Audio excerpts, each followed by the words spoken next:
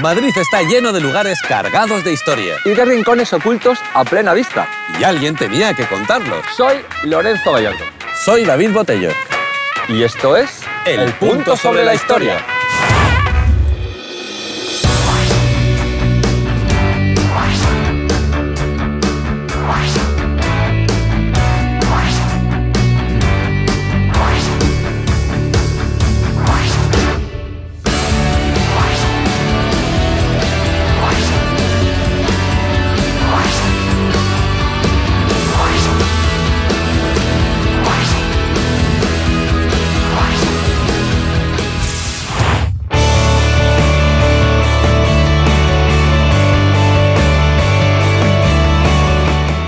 Vamos a pedalear por una de las zonas con más historietas de Madrid, la Plaza de Santa Ana y sus alrededores. Con lo animada y bonita que es, no nos extraña que fuera el lugar elegido por muchas celebrities para reunirse y echar el rato. Personajones de todas las épocas y modalidades. Artistas toreros, políticos, escritores. Con sus historias, sus aventuras, sus desventuras, sus amores y sus desamores. Y no os imagináis una cosa, aquí el mismísimo Quevedo tuvo un duelo con una pantera. Pero no preocuparse, porque la historia también amansa las fieras. ¡Empezamos! La historia es un punto.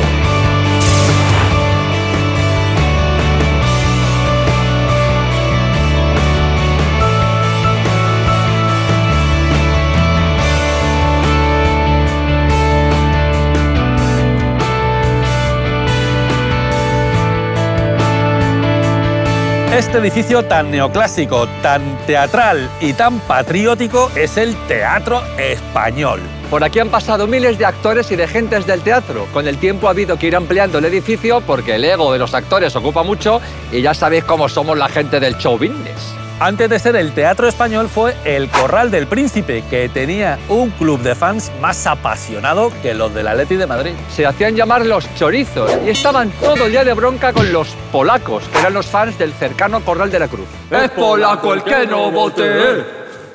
A mediados del siglo XIX rebautizaron el teatro para darle su nombre actual. Con un pequeño inciso durante la Guerra Civil en el cual el teatro pasó a llamarse García Lorca. A Lorca se le recuerda con una estatua justo enfrente del teatro. A tus pies, poeta. Federico era vecino y amigo de Encarnación López, la argentinita, que ya había trabajado para él en El Maleficio de la Mariposa, la primera obra de Lorca. La argentinita estrenó en el mismísimo Teatro Español una versión flamenca del Amor Brujo de Falla. La crítica dijo, pertenecen a una raza endiablada de la música y del baile. Bailan porque aman el baile. Federico y la argentinita grabaron juntos una serie de discos con canciones populares que Lorca había recuperado y armonizado. Ella ponía la voz y Federico ponía sus manos al piano, un disco impresionante. Interpretaban canciones tan conocidas como Los Cuatro Muleros, El Café de Chiritas y nuestra favorita. Anda, jaleo, jaleo, ya se acabó el alboroto y vamos al tiroteo y vamos al tiroteo. Con la prematura muerte del amante de la argentinita, Ignacio Sánchez Mejías, a las 5 de la tarde, la argentinita decidió poner tierra de por medio y se marchó a hacer las Américas. Como todo lo español y todo lo flamenco triunfó al otro lado del charco. Cada vez que actuaba en la Metropolitan Opera House de Nueva York, colgaban el cartel de vendido, agotadas localidades. Hasta una placa le tienen allí puesta y aquí que ni nos acordamos de ella, si es que nadie es profeta en su tierra. El teatro español es un punto.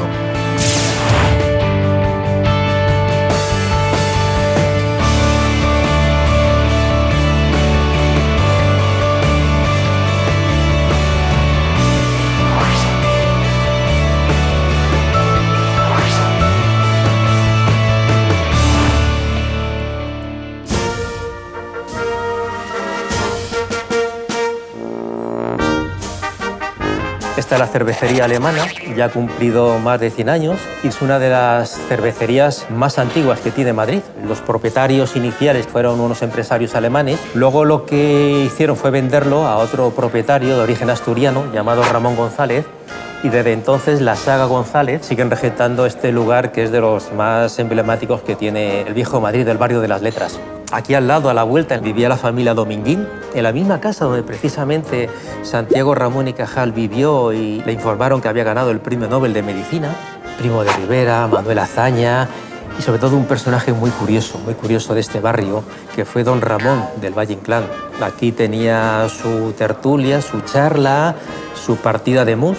Eso sí, tenía un carácter de mucho cuidado y cuentan que en cierto momento le interrumpieron porque había un personaje que preguntaba por él, un tal Zozaya. Y este señor venía un poco a increparle y él, pues sin inmutarse y siguiendo su partida de mus, dijo, Zozaya, el de las varices, que me toque las narices y que se vaya. Pero aparte de Ramón de Valle Inclán, también ha habido otros personajes muy célebres como Ava Gardner, personaje que recorrió no solamente esta cervecería, sino otras cervecerías y otros bares, porque estuvo bastantes años viviendo en la capital. De ella se enamoró Fernando Ferran Gómez, cuentan, en el Tablao Villarrosa. Y luego también otro personaje muy célebre en Madrid de aquellos tiempos es Ernest Hemingway. Frecuentaba mucho estos lugares y él fue una de las personas que se reunía aquí sobre todo con un gran amigo, que fue Luis Miguel Domínguez. Todo eso ha creado un ambiente bohemio, literario, que se rompió, por desgracia, en los años 70 y 80 debido a la aparición del mundo hippie, tuvieron que, arbitrar una fórmula para impedirles la entrada. Crearon un cartel donde directamente se les prohibió el acceso, incluso en la puerta de la cervecería se aparcó un vehículo de la policía para frenarles. Y vamos a brindar por todos aquellos madrileños que han pisado y que pisarán este comercio histórico de la ciudad. La historia es un punto.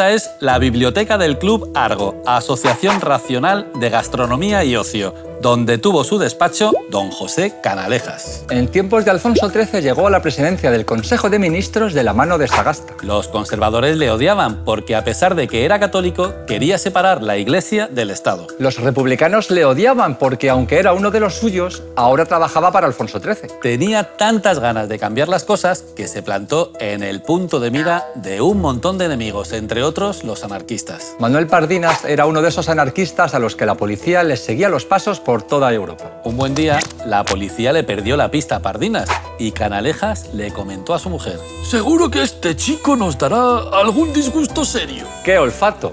Unos días más tarde, Canalejas miraba el escaparate de una librería en la Puerta del Sol. Pardinas se le acercó por la espalda y lo dejó muerto matado de arriba abajo de un tiro en la cabeza. Se dice que Pardinas estaba en la Puerta del Sol porque quería matar a Alfonso XIII, que iba a pasar a esa hora por allí. De casualidad se le cruzó Canalejas y, chico, ya que estábamos, Todavía hay muchas teorías y muchas especulaciones sobre este asesinato. La teoría más jachonda es la de un tal Hakim Bor, que acusó directamente a los masones. Hakim Bor era el seudónimo, atención, de Francisco Franco. Hakim Bor, si os fijáis, es Francisco Franco al revés.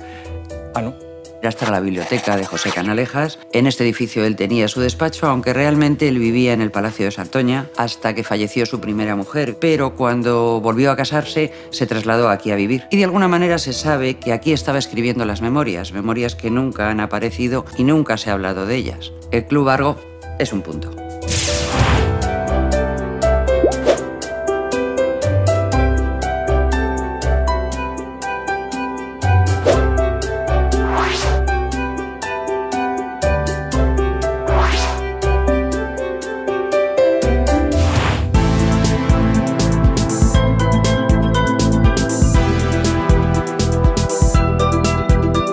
Este pedazo de vistas son las que se ven desde el ático de la suite presidencial del Hotel Mi Madrid Reina Victoria. El hotel se construyó sobre el solar que ocupaba el Palacio de Montijo. En el palacio se montaban unas fiestas por todo lo alto por donde pasaban las altas esferas de la sociedad madrileña. La condesa de Montijo, doña María Manuela Kirkpatrick, que cool, era una magnífica anfitriona. Dicen que fue la condesa de Montijo quien trajo a España las fiestas de disfraces.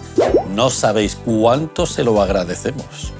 Estos guateques tenían gato encerrado. La señora Kirkpatrick montaba estos tingrados para casar a sus hijas con jovencitos polloperas de buen partido, de buena familia. Y vaya si lo consiguió. Casó a su hija Paca con el duque de Alba, casi nada. Y otro casi nada. Casó a su hija Eugenia con Napoleón III. A ver, si tiene alguna hija mal, acaba casando con el Papa. Dicen que en el Palacio de los Condes de Montijo fue donde Próspero Médime empezó a escribir su obra Carmen, inspirado por una historia que le había contado Eugenia de Montijo. A principios del siglo XX se tiró el palacio y se edificó el actual edificio, que fue una galería comercial llamada Almacenes Simeón. Durante 70 años, las primeras plantas se dedicaron al almacén y el resto del edificio a lo que venía siendo el hotel. Por este hotel han pasado y siguen pasando celebridades y artistas del panorama nacional e internacional. En sus habitaciones se vestían los toreros, se ponían el traje de luces y se quitaban el miedo antes de ir a una corrida a la Plaza de Toros de las Ventas. En este hotel era donde Luis Miguel Dominguín se vestía. Luego se apuntaba a la fiesta Ava Gardner y hacía la operación opuesta. No sé si nos explicamos. Manolete, que era muy supersticioso, siempre se pedía la habitación 220 para vestirse. Pero quedémonos con esto. Las vistas desde el hotel son para salir por la puerta grande.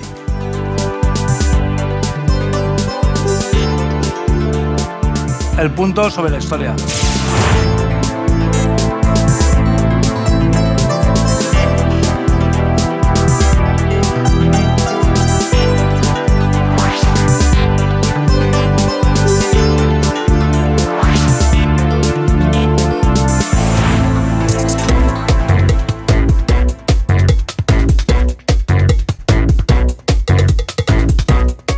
Persona que veis aquí detrás es Calderón de la Barca. Fue uno de los protagonistas del siglo de oro de la literatura española. Y bueno, era hijo de un funcionario que trabajaba para las cortes de Felipe II, luego para Felipe III. Desde muy pequeño destacó en los estudios, pero vamos, era un empollón alucinante. Para que su padre quería que fuera sacerdote, porque su abuela tenía reservada para él una capellanía para cuando acabara los estudios sacerdote. Él estudiaba en el Colegio San Isidro, donde antes había estudiado Quevedo, Lope de Vega, se le dio fenomenal los estudios y a los 13 años estrenó su primera comedia. Y le pilló el gustillo y no paró. Y al final el tío empezó a darle a la juerga, al vicio, al juego. Y el tío era un crápulo, ahí donde yo me veo bastante identificado, no solo en las poesías.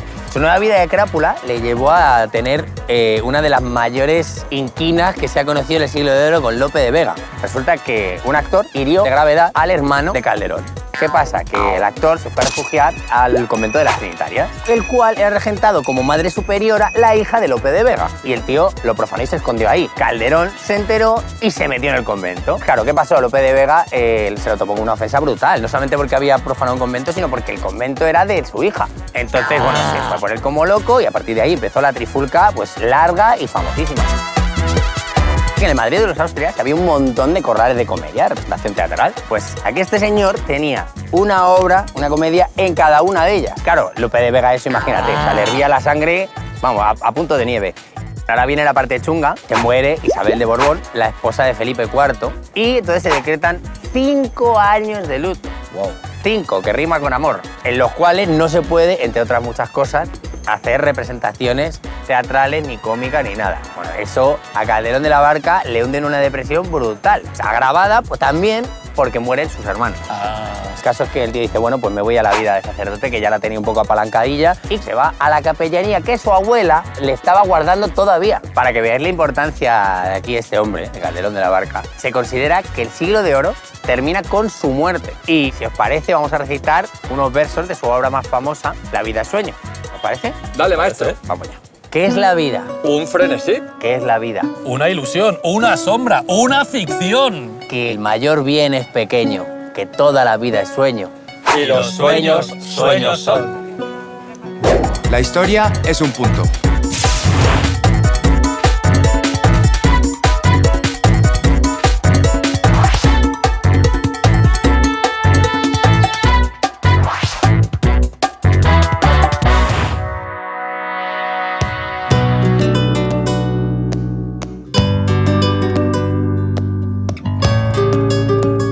Este lugar tan tablao, tan flamenco y tan centenario es el Villarrosa, el tablao flamenco más antiguo de Madrid. Catedral del arte flamenco por excelencia y conocido mundialmente por la enorme calidad de sus artistas. Abrió en 1911, pasó por varias etapas y varias manos hasta que acabó en manos de un tipo que se llamaba Pajares. Pajares se propuso volver a convertir este lugar en lo que fue desde un principio, un tablao. Fichó a Antonio Chacón, el papa del flamenco. Como el flamenquito estaba tirando a mal visto, Pajares puso en la planta baja unos reservados para que los famosetes pudieran disfrutar del espectáculo sin ser vistos. Un asiduo al reservado era Alfonso XIII, que dicen que tenía un pasadizo que comunicaba el Palacio Real con el tablao. Cucha que salado el tío. También venía aquí el general Primo de Rivera, el dictador, a repanchingarse en sillones de mimbre con alguna mozuela, para aliviarse, suponemos, de las tensiones de pasarse todo el día dictando.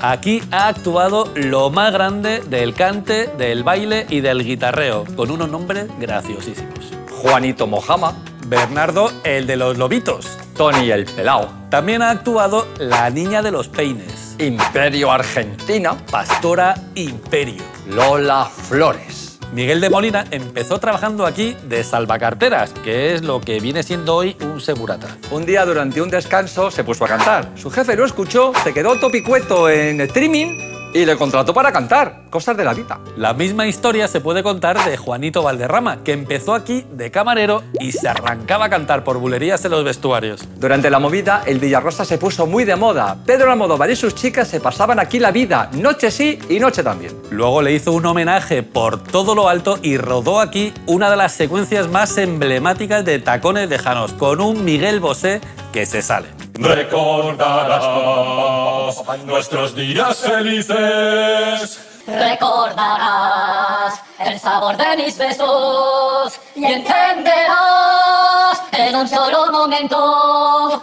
qué significa Un año de amor. A ver, chavales, si después de esto no nos contratan en el Villarrosa, ¿no será que no nos lo curramos? Hace un tiempo vino un cliente aquí muy mayorcito y nos contó pues una anécdota maravillosa y es que Miguel de Molina ecualizaba la voz justo en esta esquinita de aquí. El flamenco en Villarrosa es un punto.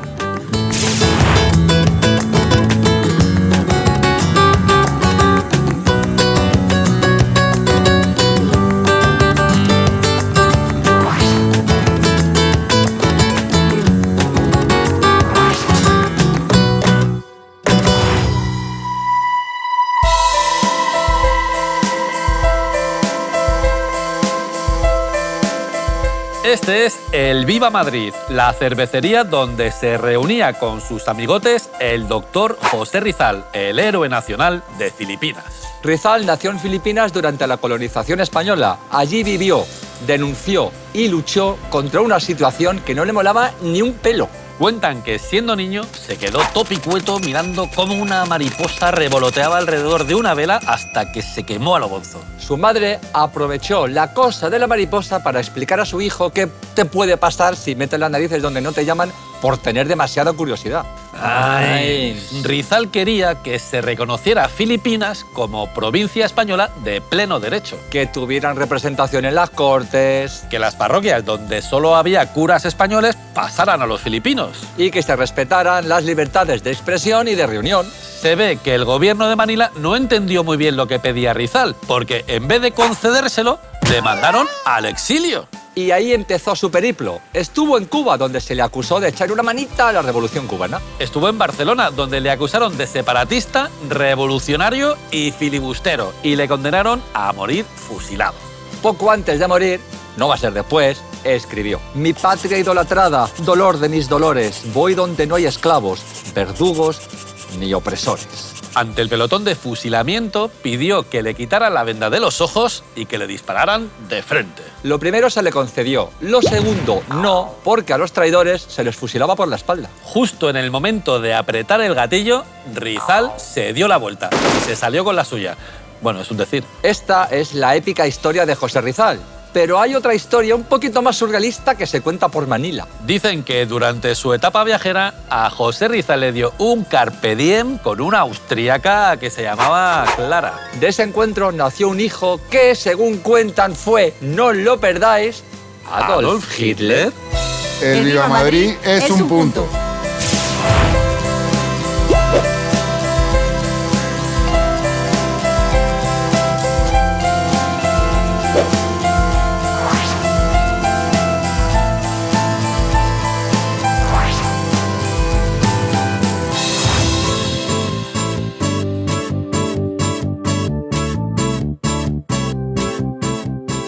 Es la iglesia de San Ignacio de Loyola, también conocida como Iglesia de los Vascos. Es propiedad de la Real Congregación de Naturales y oriundos de las tres provincias de las Vascongadas, más conocidos como los oriundos. Los oriundos eran 109 vascos que allá por el siglo XVIII, minuto arriba, minuto abajo, dijeron ¡Oh, papachí! Des el miedo no se me la chapela, ¿oyes? Pues que a mí me gustaría escuchar la misa en euskera. ¡Ay, va, pues qué buena idea, Andoni! ¿Por qué no montamos una iglesia aquí a las afueras de Bilbao, en Madrid? Y así nació esta iglesia, la única de Madrid que dice la misa bilingüe en castellano y en euskera. Está consagrada a San Ignacio de Loyola, militar, religioso y fundador de los jesuitas. San Ignacio era un militar de estos bravos bravos. Fue herido en la defensa de Pamplona y tuvo que pasar en la cama un montón de tiempo. Ahí de reposo le pidió a su hermana que le trajera un libro de caballería o algo para entretenerse. Mm, pues por aquí solo tengo un ejemplar de la vida de Cristo. Mm, bueno, no hay batallas de gigantes, pero las descripciones literarias de Judea son literariamente impecables. Así empezó a leer libros religiosos y le gustaron tanto, tanto que se acabó montando la Compañía de Jesús, así, sin despeinarse. Hizo votos de pobreza, castidad y obediencia al Papa. Los jesuitas llegaron a tener muchísimo poder allá donde se instalaron. Un buen día, el Papa Clemente XIV pues, decidió disolver la compañía. La verdadera razón para esta disolución era que el rey de Francia era muy absolutista, très absolutista y quería controlarlo todo. Total, que no le gustaba ni un pelo la enorme influencia de la compañía. Y ¡zas! La disolvieron. Se dice, se rumorea, se susurra que Ignacio tenía una de las trece calaveras de los Atlantes. La leyenda dice que cuando los atlantes se enteraron de que la Atlántida estaba condenada a desaparecer bajo las aguas, tallaron las trece calaveras de los Atlantes. Estas calaveras serían los ojos, las manos y los sentidos de los atlantes allá donde estuvieran. ¿Quién las hizo? ¿Cómo las tallaron? ¿A santo de qué? Y lo que es mucho más misterioso, amigos, cómo hemos empezado hablando de las Vascongadas y hemos acabado hablando de la Atlántida y de las trece calaveras de los Atlantes. La historia es un punto.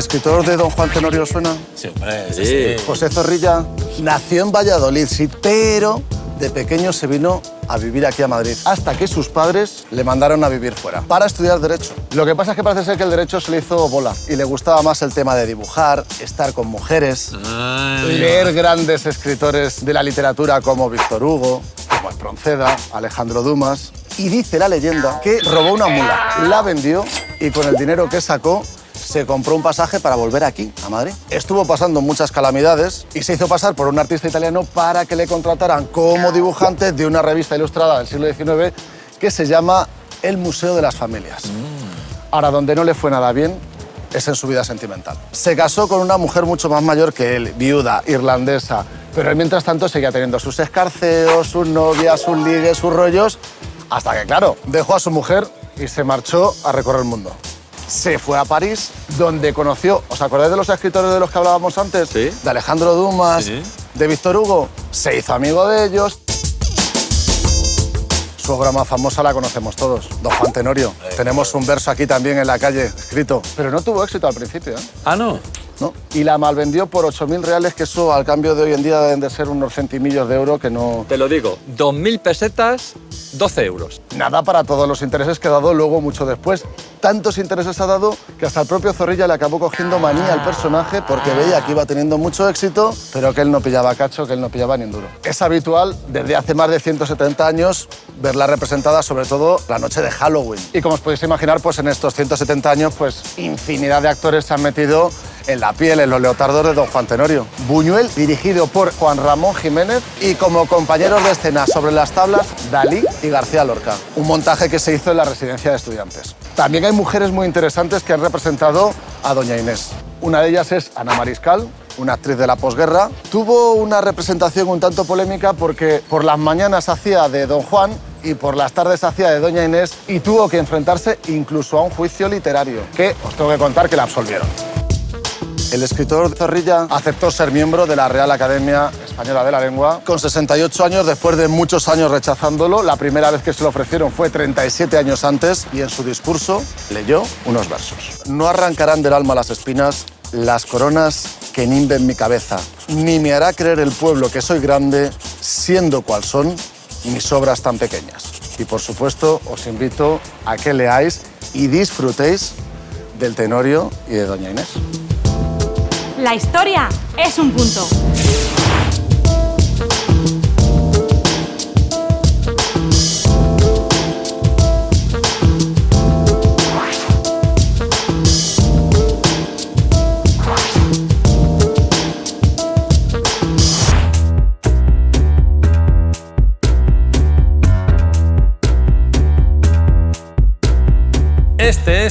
Antiguo palacio del conde de Tepa. Cuando se construyó el actual hotel, se encontraron los cimientos de la antigua fonda de San Sebastián. Y en tiempos de Carlos III, en la fonda de San Sebastián se celebraba la tertulia de San Sebastián. Irrefutable. Aquí se reunían los mejores escritores del 18. Está considerada la primera tertulia moderna de Madrid.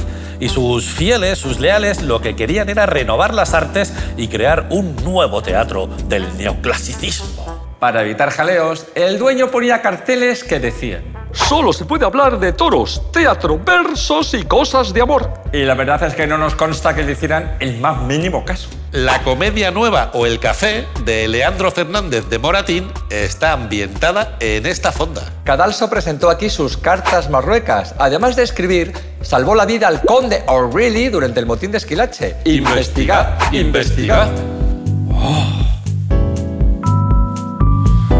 La historia es un punto.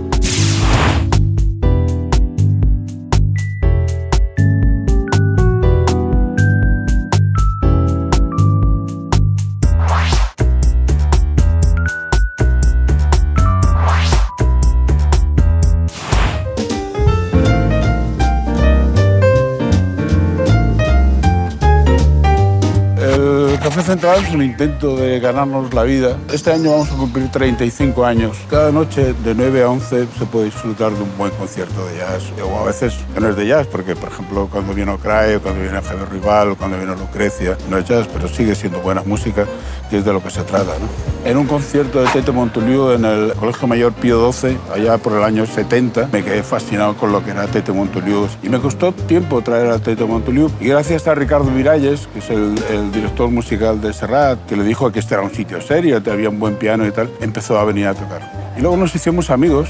En el año 94 tenemos una crisis brutal, estábamos a punto de cerrar y entonces este te dijo que no podía hacer eso, que lo que él venía de, de Barcelona y estuvo aquí tocando cinco semanas seguidas a piano solo y el Café Central estaba lleno todas las noches y la gente disfrutaba como Tete hacía disfrutar a la gente, ¿no? Era maravilloso y no habrá nadie como Tete, nunca yo creo, ¿no? Eh, A Tete nosotros le demos tanto que yo siempre que puedo cuento esta historia. ¿no? El Café Central es un punto.